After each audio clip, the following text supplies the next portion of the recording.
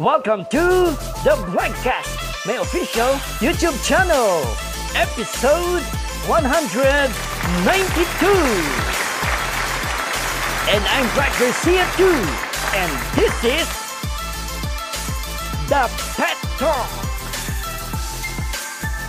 At bago po tayo magsimula, don't forget to subscribe, like, share, comments, and click the bell para ma-notify ka pa sa mga susunod ko pang episode. At narito po muna ang aking OBB! The first year anniversary, the Pet Talk, the Chinese New Year, the React, the Trend, the Food Trip, the Road Trip, Love Notes, the Election 2022. Bahagi pa rin po ito ng ating Road to 200 episode. Last November 26, 2021 ay meron po ako mga pinos ng mga mahal nating doggy na umabot po ng 44,300 views. Kaya naman po, na-inspired ako para sa content na ito na The Pet Talk. At last January 29, 2022 ay naipost ko nga po ito dito sa aking vlog. Episode 132 pa lamang po yun nung na-feature ko sina Whitey at si Hachi. And after 60 episodes ay muli ko silang ibabalik sa inyo. Episode 132 po ay nakita po ninyo si Whitey, si Hachi, si Ayuda, at si Brownie. One year and two months ay muli ko silang ibabalik sa inyo. Nga lang po nakakalungkot dahil si Whitey na lamang po yung natitira dahil uh, si Hachi ay wala. Hindi po nawala, hindi po siya namatay. May mga bali-balita po dun sa lugar kung saan ko sila pinapakain, nakikita araw-araw. Yung sinusundo nila ako, pagbaba ko pa lang ng uh, jeep, papasok sa aking work, sinusundo na nila ako. May nababalitaan ako na si Hachi ay uh, na dog found, hinuli, niligaw, o hindi ko pa man po alam. Even po si Ayuda, hindi ko na rin siya nakikita. At uh, ang nandun na lamang po ay si Whitey. Narito po ang bagong video na makikita po ninyo na nandun pa si Whitey at yung mga bago niyang mga Dabar Cats. Yung mga bagong aso doon na pinapakain ko araw-araw. Makaka-relate po dito yung mga dog lover na katulad ko. Narito po ang bagong video nila. Panoorin nyo po.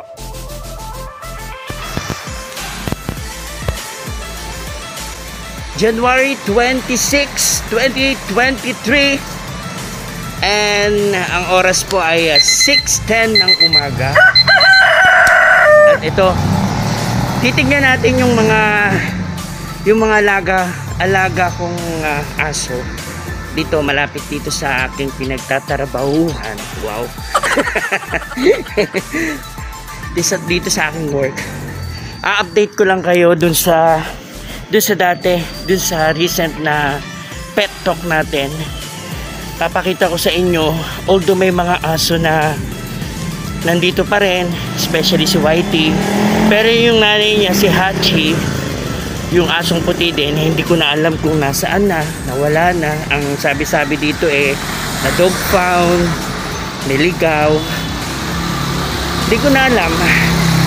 Yung si si Whitey na lang yung isang aso na nandito na. Pinapakain ko pa rin bago ako mag ano, bago ako mag work so ipapakita ko sa inyo kung sasalubungin natin. Sa yung ibang aso na mga bago niyang dapper cats. So titignan natin. So ito yung lugar. Hindi na ako magme-mention ng uh, place. Titignan natin kung sasalubungin tayo ni Whitey. Medyo malamig yung weather dahil sa sobrang aga pa ayan usually Yan. Doon siya eh. Doon siya naka-stay. Yan. Papakita ko sa inyo kung sino yung mga iba niyang mga aso. Pero parang wala siya. Nasaan na kaya yun?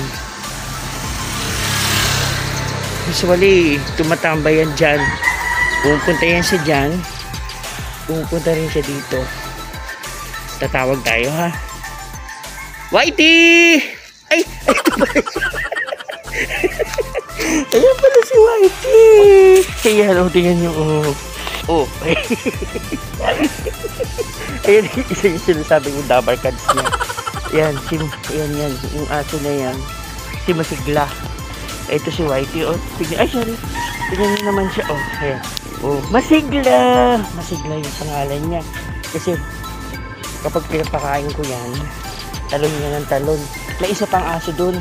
Rocky naman yung pangalan. O, tingnan nyo. O, punta na kayo dun. Dali. Ayan. Ito si Masigla. Masigla.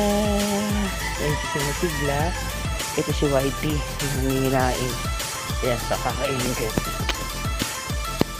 Ayan. Mo. Mamaya maya susunod sa akin.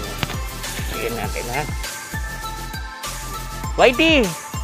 Whitey! Oh, ayan oh. Dali. Whitey! Tapos ito pa yung isa.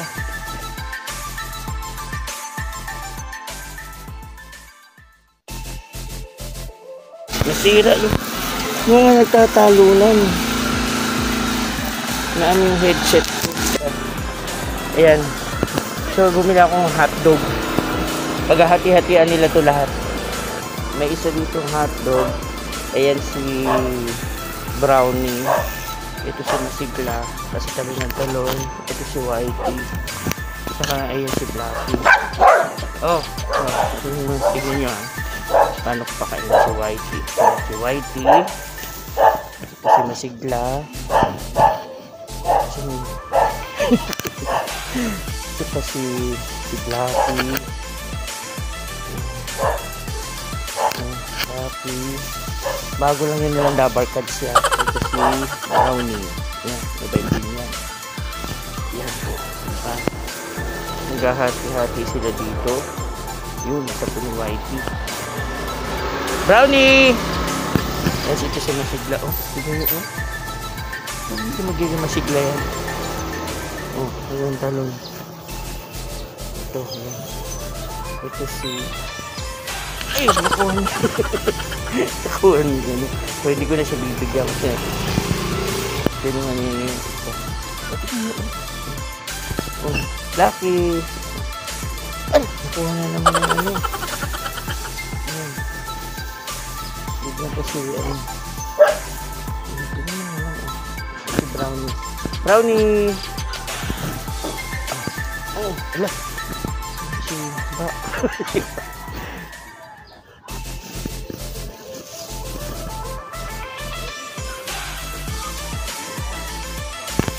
So, ayan si Whitey. So, ito si Sigla. Mm. ito si... Yun, ito na natin. Si Blacky, tapos ito si Brownie. Kunti lang yung ibigay ko sa kanila. Ito ito yung talagang paborito ko. Si Whitey. Tignan natin. Whitey. Oh. Teka. si Whitey. So, ito yung isa umalis na. Whitey! Oh, ito siya masigla. Masigla. Maliit din to eh. Masigla. Dapat siya masigla. Masigla. Kasi yan, wait lang ilap ko. Loso. si si Whitey. Whitey, halika dito. Dali, dali. Whitey. Dumadamba-damba din siya sa akin. Ito ko. Pag pinaampun sa akin ko, ang tuloy ko rin. Whitey! Oo, oh, gabi na sila. Kasi nakakain sila. Si Tignan yung ginawa ni Whitey sa headset. Sinira niya. Ay, naku. Tignan mo ginawa, sa, ginawa mo sa headset ko. Sinira mo. Talo ka kasi ng talol eh. Oh. Wala na akong headset. Sinira mo. Whitey, ngayon ka dito. Nira mo, oh. Oh, di ba? Para siyang ah, may isip eh. Alam niyo may kasalanan siya eh. Ngayon, mabuti na lang, oh. Ayan, Ayan, nagawa ko pa yung headset. Pero gamit lang yan. Tingnan niyo siya. Oh, oh ayan siya. Oh. Oh, oh, wag ka na talon-talon dyan. Talon-talon ka pa. Sisirain mo na yung gamit ko. Pero okay lang yan. Gamit lang yan. Kasi naayos ko. so yung so yung ibang aso wala na. Pero yan si Whitey, dito pa rin sa akin. Halika nga dito. Halika nga dito. Halika dito. Dali, halika dito. Whitey. Whitey. Oh, ayan. Tingnan nyo. Halika dito. Dali, halika dito. Halika dito. Halika, dali. Dali, halika dito. Halika dito. Whitey. Whitey. Oh, eh. Kala pa kain pa siya. Oh, Whitey. Halika dito. Shh. Halika dito. Shh. Halika dito. Si Masigla, oh. Masigla. Ito, may dati masungit to, eh. Oh. So, ayan na sila. Napakain ko na. Napakain ko na sila lahat. Salamat po.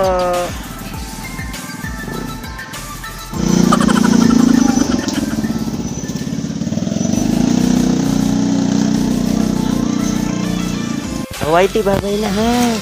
Halika dito, dali. Teka. Ayun siya, oh. Babay na ha.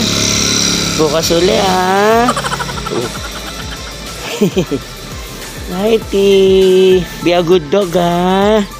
Ingat ka palagi. Bukas uli.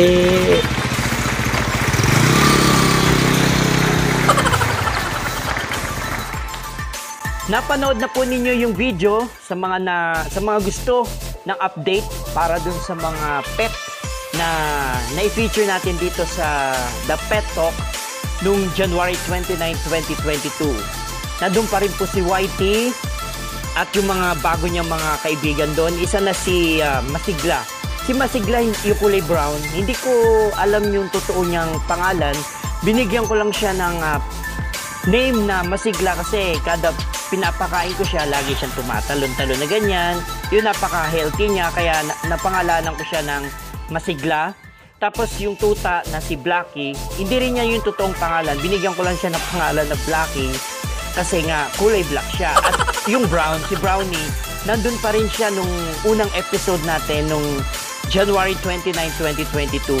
Ah, na- nandun pa rin siya, kasama pa rin niya si, si Whitey. Si Hachi po, sa mga bago lamang po nakapanood ng video na to, si Hachi, dalawa po kasi silang asong kulay puti doon. Si Hachi po yung nanay ni Whitey. Si Whitey yung anak ni Hachi, syempre. Nga lang po yun, kaya wala na siya dun sa video. Last year pa po yun eh, 2022 pa wala na dun si, si Hachi. May mga naririnig lang ako na na dog, pa, na dog pound. Hindi siya namatay, na dog pound, merong niligaw.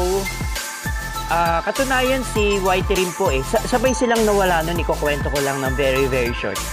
Si Whitey at si si Hachi ay parehong sabay na nawala.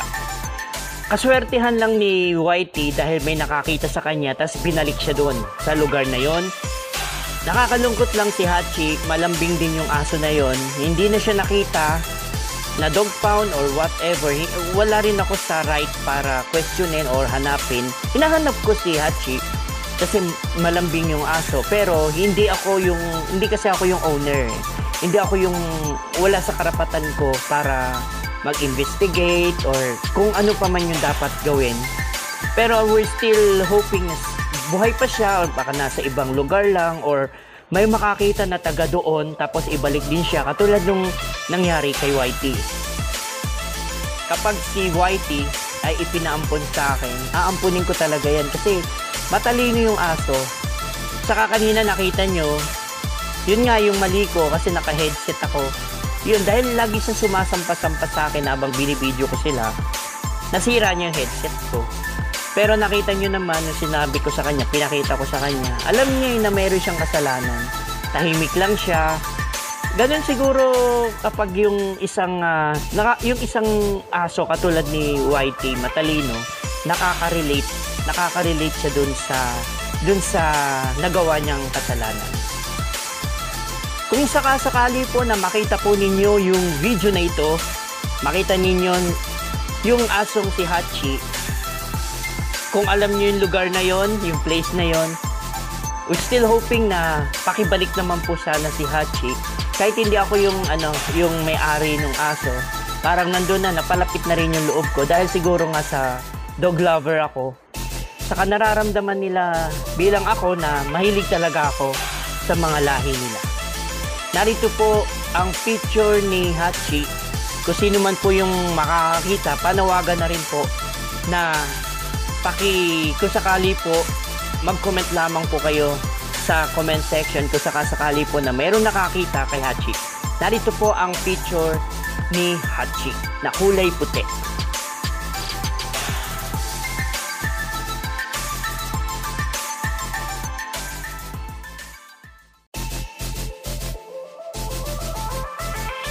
Umaasa po ako na sa pamamagitan po nitong aking maliit na nakayanan ay makita ko po or meron pong makakilala dun sa asong pinakita ko si Hachi.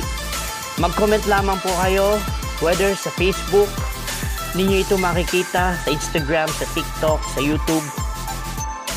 Mag-comment lamang po kayo sa comment section kung sakali lang man po na makikita po ninyo si Hachi, yung aso. Mahalin po natin yung ating uh, mga alagang hayop. Lalo na yung aso, pusa, lahat ng bagay na may buhay sa mundo, bigyan natin yan ng halaga. Dahil makikita natin, mararamdaman natin na kapag naging mabuti tayong tao sa kanila, ibabalik nila yan sa atin. Magiging loyal sila sa atin. At kung ano yung pagmamahal na ipinapakita mo sa kanila, ibabalik nila yan ng doble. At wag na wag po natin silang sasaktan, papaluin, babatuhin, may puso rin yan eh. May, may buhay din. So, ibalik natin kung paano tayo rumispeto sa kapwa-tao natin, ganun din tayo rumispeto sa mga sa mga hayop, sa mga may buhay na nasa paligid natin. Sa mga dog lover po na katulad ko, maraming marami pong salamat sa pagmamahal ninyo sa mga aso, sa mga pusa, sa lahat po ng mga hayop na nilikha ng ating Panginoong Heso Kristo. Naway pagpalain pa kayo dahil sa meron po kayong mabuting puso. Marami pong salamat.